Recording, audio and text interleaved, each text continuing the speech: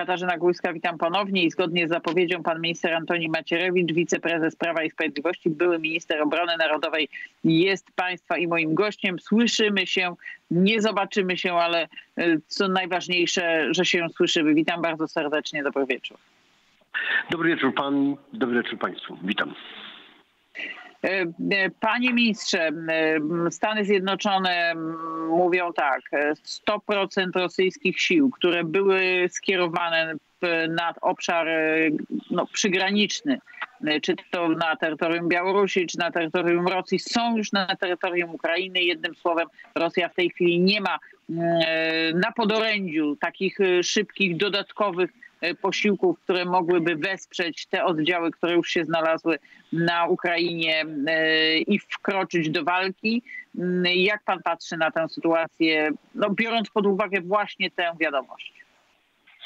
No to jest informacja, która y, stwarza dobre perspektywy dla obrońców, dla obrony y, Ukrainy, bo to oznacza, że ten ten potencjał, który został przygotowany, nie jest w stanie przezwyciężyć obrońców, obrońców państwa ukraińskiego. Bardzo to optymistycznie brzmi i bardzo bym się cieszył, żeby tak właśnie, żeby tak właśnie było. Musimy jednak wziąć pod uwagę, że poza e, siłami operacyjnymi, e, o których tutaj mowa, no istnieje też przecież cały aparat związany z zdolnościami e, oddziaływania, bombardowania, oddziaływania zewnętrznego, tak jak na przykład zaatakowano Jaworów. No to nie były siły z terenu ukraińskiego zapewne, które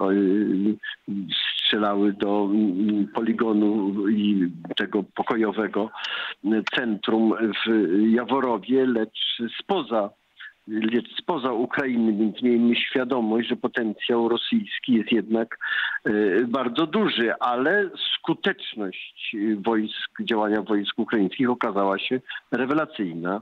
To jest bardzo optymistyczny punkt widzenia.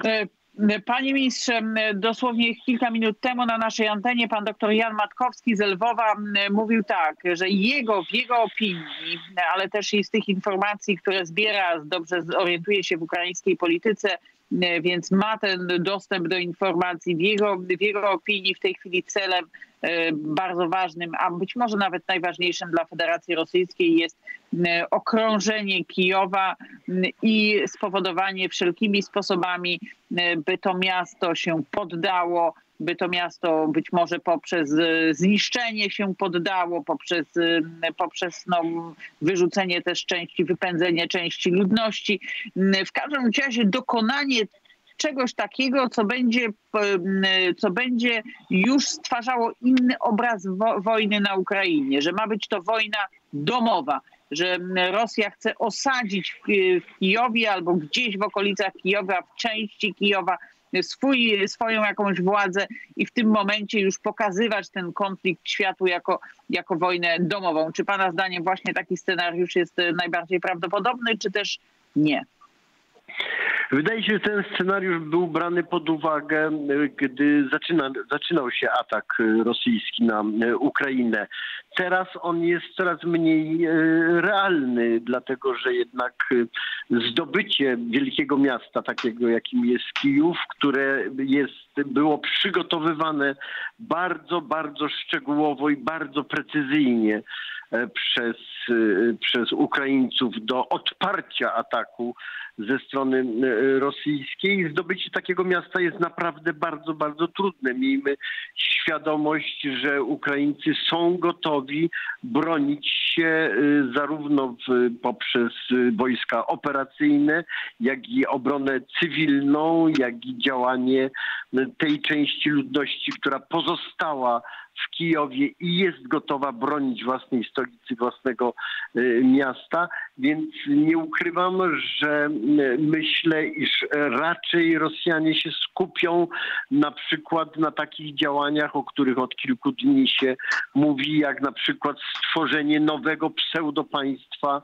y, w, w oparciu o miasto Herson Tak, tak, w tak. oparciu o miasto Herson, prawda? I, I, tego typu działania, czyli krótko mówiąc, e, ograniczania, zmniejsz, zwiększania swoich, swoich wpływów, które byłyby politycznie e, kształtowane jako dowód, że właśnie jakaś część ludności ukraińskiej jest gotowa wesprzeć Rosjan. Oczywiście to będą fikcyjne operacje, ale myślę, że w tę stronę pójdzie, pójdzie ofensywa rosyjska niż w próbę zdobycia Kijowa, bo ona jest mało realna, a co więcej z punktu widzenia międzynarodowego, y, a za, zaatakowanie Kijowa, no, które jest jednak wielkim miastem, jest stolicą, jest y, miastem o olbrzymich, wspaniałych y, budowlach historycznych, więc ma wymiar naprawdę ogólnoświatowy. To to by spowodowało jeszcze większy wstrząs międzynarodowy niż to, co się dotychczas y, zdarzyło. Próba zburzenia Kijowa byłaby dla Rosji y, katastrofą moralną i, y, i także militarną. Panie ministrze, mamy dosłownie jedną minutę, ale ja, ja muszę o to zapytać, czy pana zdaniem Rosja w tej chwili jest gotowa do użycia chociażby broni chemicznej wobec któregoś z miast, E, wiemy o tym, że bardzo mocno atakowany jest chociażby Charków. No, wiemy o tym, że w kleszczach okrążenia jest Mariupol, no ale walka, walki toczą się jeszcze wokół kilku innych dużych ukraińskich miast, bo to są duże miasta, to warto o tym pamiętać. Czy Pana zdaniem e, można się rzeczywiście spodziewać tego, czy jest to scenariusz prawdopodobny, że dojdzie do użycia na przykład broni chemicznej? Niestety obawiam się, że pani ma rację. Y, są dwa, dwie przesłanki, które na to wskazują. Nie tylko doświadczenie z ich działań y, w Syrii, ale także ta plotka, która została przez nich upowszechniona w ciągu ostatnich dni, oskarżająca Ukrainę i, y, i NATO o możliwość użycia broni chemicznej. To jest klasyczna operacja dywersyjna, która ma usprawiedliwić ich tego typu y, działania i zaciemnić rzeczywisty obraz sytuacji. Dlatego obawiam się, że to jest niewykluczone. Bardzo dziękuję. Tu stawiamy kropkę. Pan minister Antoni Macierewicz, wiceprezes Prawa i Sprawiedliwości, były, były minister obrony narodowej, był gościem telewizji Republika. Serdecznie dziękuję i serdecznie pozdrawiamy, a my już mamy połączenie z Maciejem. Pozdrawiam witam. Państwa i dziękuję tak, ja już witam. pracę na rzecz obrony Ukrainy. Dziękuję bardzo. Bardzo, bardzo dziękujemy. A ja już witam Macieja Rusińskiego, szefa klubu Gazety Polskiej w Nowym Jorku, doskonale zresztą Państwu znanego e, z anteny telewizji Republika. Witaj Maćku, Tobie mówię dzień dobry. E, witaj serdecznie. Witam, e, pozdrawiam proszę. i również pozdrawiam pana ministra. Maćku, powiedz, bo pojawiły się w Polsce informacje, że być może prezydent Joe Biden wybierze się do Europy w, w, taką podróż zagraniczną, a jednym z punktów tej podróży może być Polska. Proszę e, powiedz, czy, czy w mediach amerykańskich jest, są informacje na, na ten temat? E, tak, pojawiają się te informacje. W ogóle co warto zauważyć i e, podkreślić, że te informacje, czy w ogóle konieczność takiej wizyty pojawiała się już dużo wcześniej, nawet przed wizytą Kamali Harris. Przy czym e, wizyty prezydenta wymagają powiedzmy dużych e, logistycznych nakładów, e, długich planów z powodu po, po prostu e, dużego orszaku, który z nim jeździ.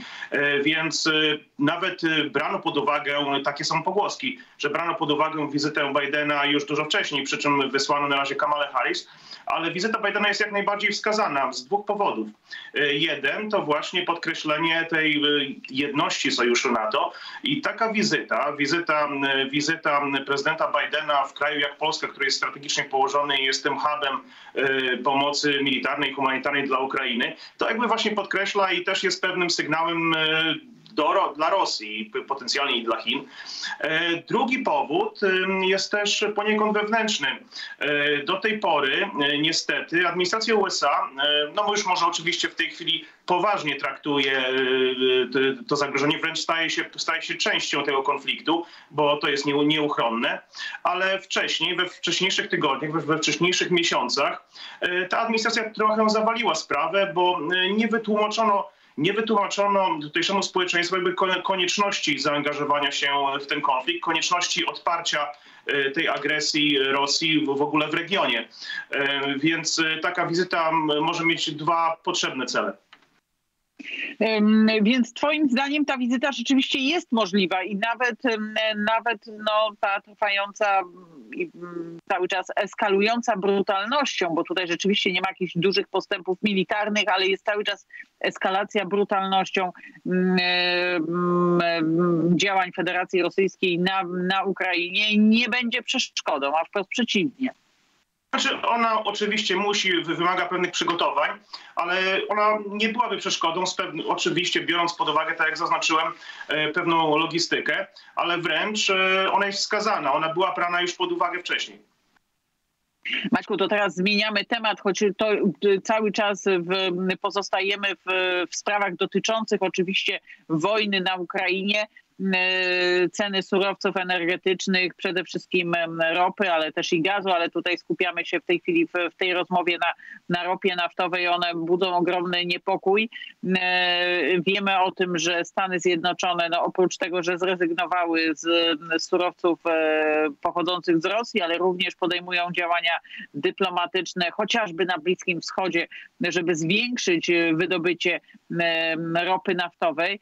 Proszę powiedz, jak ty patrzysz na te działania i ich efekty, bo wiemy, że, że też te relacje na przykład Stanów Zjednoczonych a Arabii Saudyjskiej, no mówiąc delikatnie, nie są najlepsze. E, nie, nie są, przy czym dla Stanów Zjednoczonych te relacje e, to są powiedzmy sankcje za pewne działania, które Arabia Saudyjska podjęła to są naprawdę w tej chwili dla Stanów Zjednoczonych y, bagatelne problemy z porównaniem, y, co, jakie zagrożenie płynie z, z ewentualnej sytuacji, gdy Rosji uda się zawładnąć Ukrainę i powiedzmy spacyfikować i później rozszerzać zagrożenie y, na dalszą część regionu. Więc tak, są prowadzone rozmowy z Iranem, z, z Arabią Saudyjską i z Wenezuelą, co warto zaznaczyć.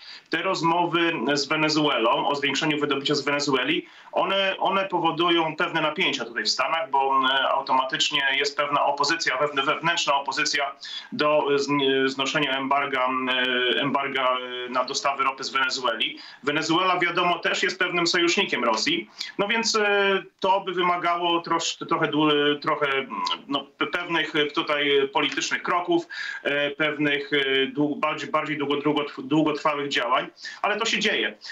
To się dzieje w, w, pierwszym, w pierwszym rzucie, co Stany Zjednoczone zrobiły, jeżeli chodzi o rynek ropy, no to uwolnienie rezerw e, strategicznych e, ropy. W tej chwili ceny ropy się ustabilizowały. One miały taki naj, największy skok e, w połowie zeszłego tygodnia, w środę bodajże. W tej chwili już cena ropy spadła z, tego, z tych, powiedzmy, tej ropy na, na rynkach amerykańskich ropy WTI ona spadła z 130 dolarów do w tej chwili ciut po, powyżej 100. No więc jest to wysoka cena, ale nie jest powiedzmy aż tak katastrofalna. Co też warto zaznaczyć, że w Stanach Zjednoczonych e, ogół społeczeństwa jak na razie e,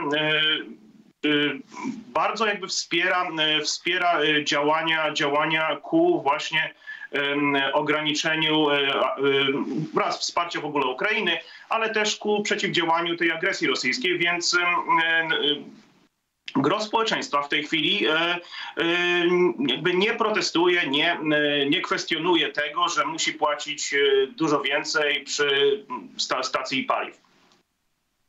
No i to jest bardzo dobra dla nas wiadomość, bo poparcie społeczne w Stanach Zjednoczonych przekłada się zawsze na poparcie polityczne.